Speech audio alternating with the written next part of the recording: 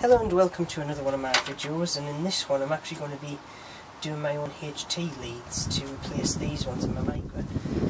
Um, so basically I'm just going to go through the step-by-step things of what I've done to actually get to the point of making my own HT lead. So the first thing I've actually gone and done is, and um, this is actually before the video was actually started, is I've measured the HT leads. Now the, instead of using a measure or anything like that, I've used this technical bit of technology called string.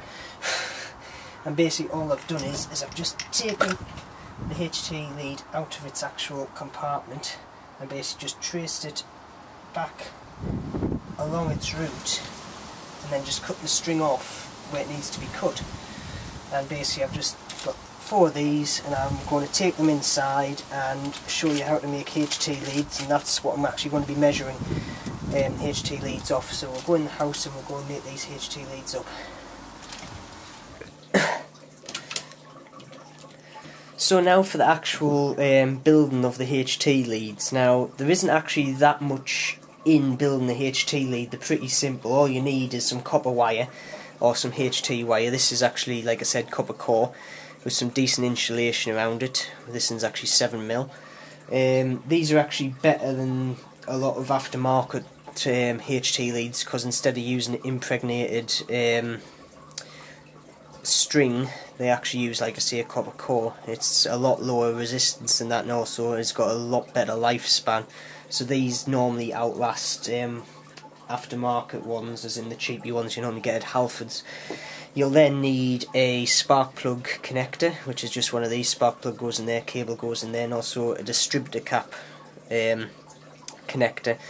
These come in a wide range of formats. This is a 90 degree one as you can tell and this is just a straight one but they come 90 degree, 45 degree and so on and so forth depending on your application.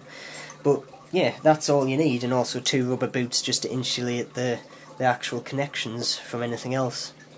So first off what you need to do is is we need to actually free up some of the cable. Now, I've already cut this to length, but all I've done is used the bit of string that I measured the spark plug lead with and cut it, with a bit around about two or three inches extra on the end. Um, then what we're going to do is we're just going to break the insulation off so we've got a bit of bare cable. Now I have got a pair of wire strippers down here but they're not too good with this thick of a cable but once you get them broke, there we go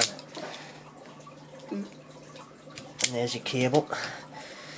And all you're going to do with this is twist it around and bend it back over itself. Easy as that.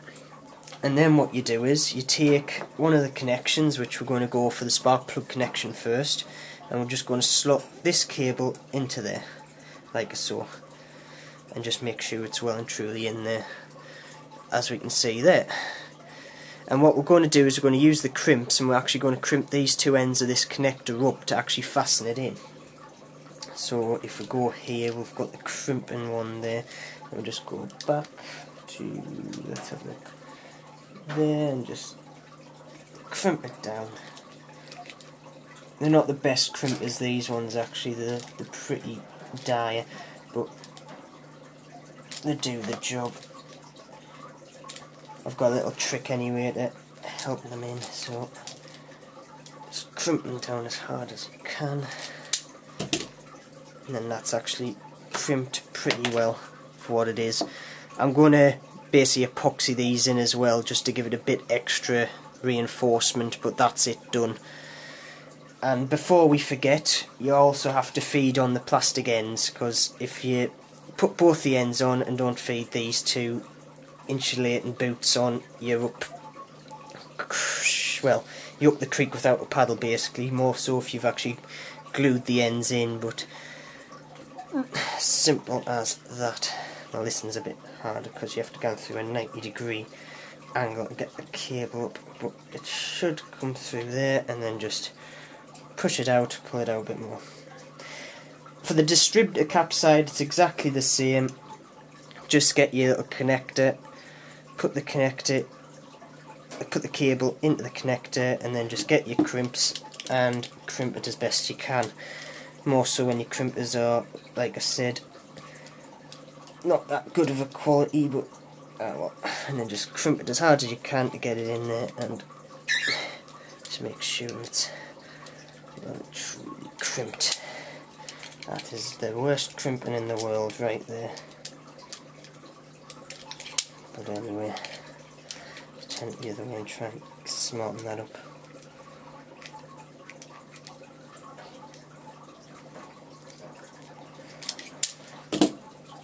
And there we go, that's that crimped and it's not actually moving anywhere. Even though it doesn't look well crimped, it is pretty much well in there. Now, that's basically it. It's as easy as that. And then all you do is you just move the boots back over, over the ends, and you'll have some HT leads. Now, before I've actually going to do this, I'm going to put some epoxy resin just on the ends here, just to make doubly sure these aren't going to move out.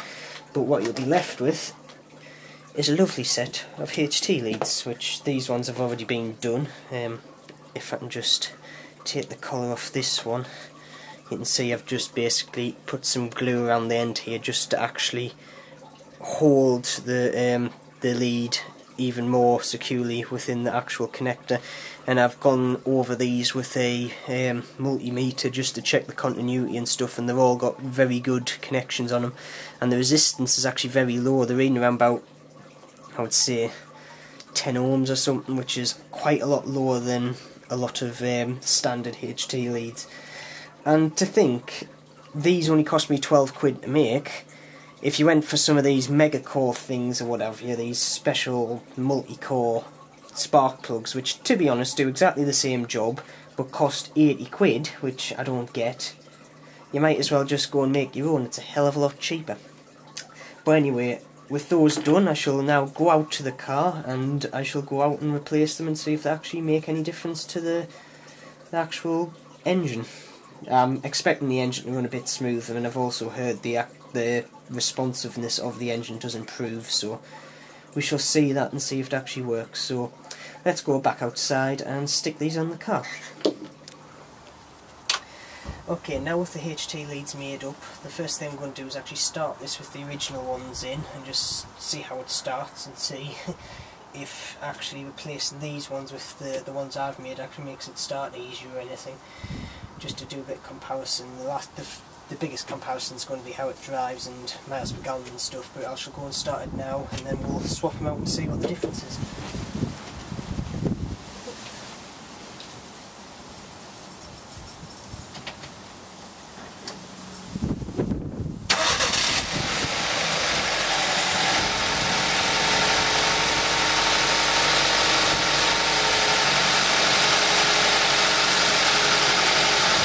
Not bad sounding engine this one, it's actually pretty tight so yeah that's how it starts, it runs pretty smooth as well but we shall change the HT leads now and see how we'll get on. So we have the first lead in here which I've just basically done, um, I'll just take this out of the connector here and basically all I'm going to do is, is just take each individual one off and replace them along the way. So the next one is this one. Now after a bit of fettling we've got them all in and secure so next step now is to actually see if these actually work so fingers crossed.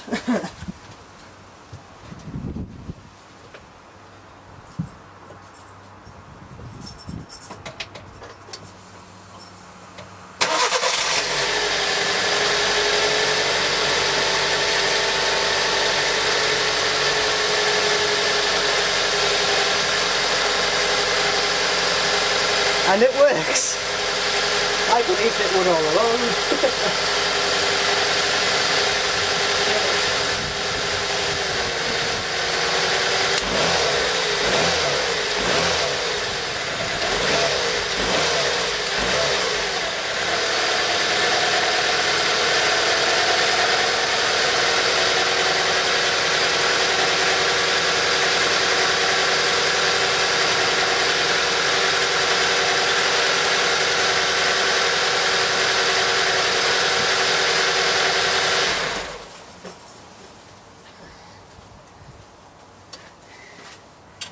DIY HT leads. Take your lesson on how to make. They're cheaper than the ones you buy off eBay or or this pap and they actually are better than the standard um, what shall we say, wire impregnated cores. Now, I'm not going to give a definite answer to whether if these are worth it or not until I've actually gone for a full ride and maybe done a week's worth of um, driving around backwards and forwards to see if the miles per gallon changes or not. But it's a start, we actually have it all set up there, it just shows you how easy it is to make your own HT leads. So go out and get some, they're like I say £12 for this lot off eBay. I've actually used a bit too much cable here, I'm going to have to try and wrap it up and sort it out in some form or another.